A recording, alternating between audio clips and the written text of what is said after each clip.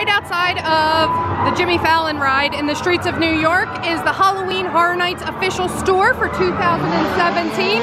So we're gonna head inside and see what they got.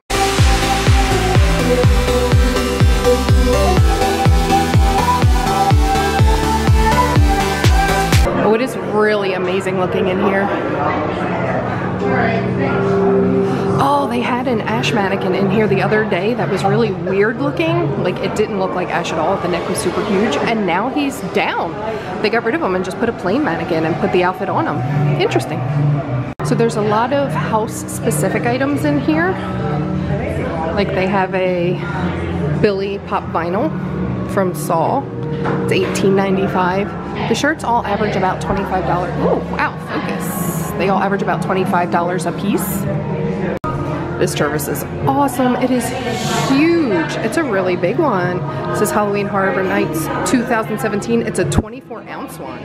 They usually don't have them that big. It is $26.95 and it has the Soul Collector right on the front.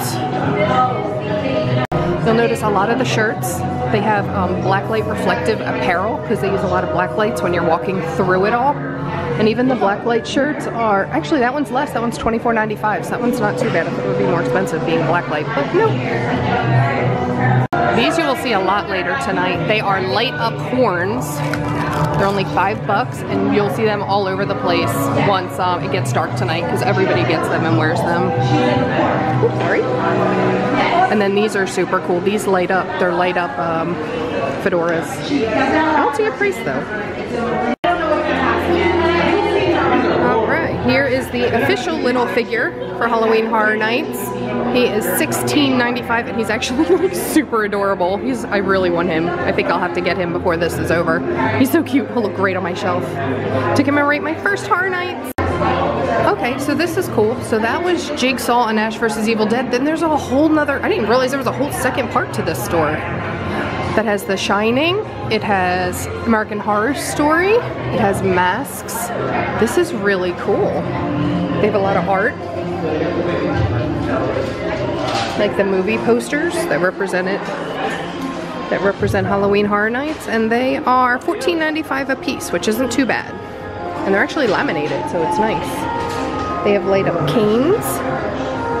Here's the lanyard for this year's Halloween Horror Nights. Cool. It's $10.95. Oh my gosh, this pin is adorable. Oh my gosh, he's $14.95. He is really cute. They have a couple different pins, keychains, the lanyards, and this is amazing. Hey guys, your soul is requested. And they have a whole bunch of masks that represent all the different houses too. Okay guys, this is the last year of Bill and Ted's Halloween Adventure and they have a lot of farewell stuff. They have a shirt for $24.95. They have a coffee cup, which is pretty awesome. That is $16.95. And then they have the shot glasses, which are $9.95.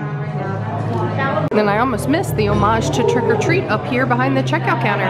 Got, I think his name's Sam, hanging up in the corner there, and all the jack-o'-lanterns lit up. Pretty cool. And then you exit back into the streets of New York.